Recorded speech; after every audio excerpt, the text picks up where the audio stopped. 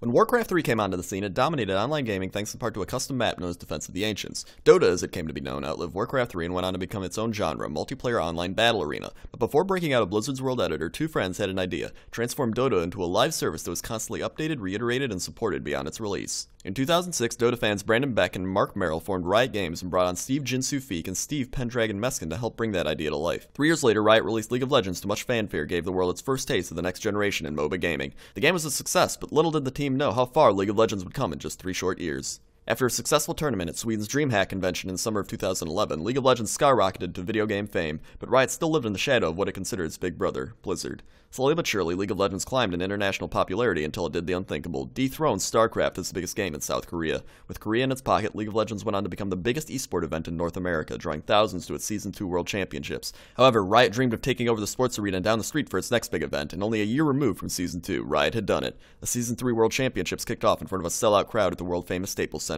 Now a money printing machine disguised as number one multiplayer game in the world. What else is there for Riot to do? Well, somebody's got to buy those skins, right? I know I am. Have fun.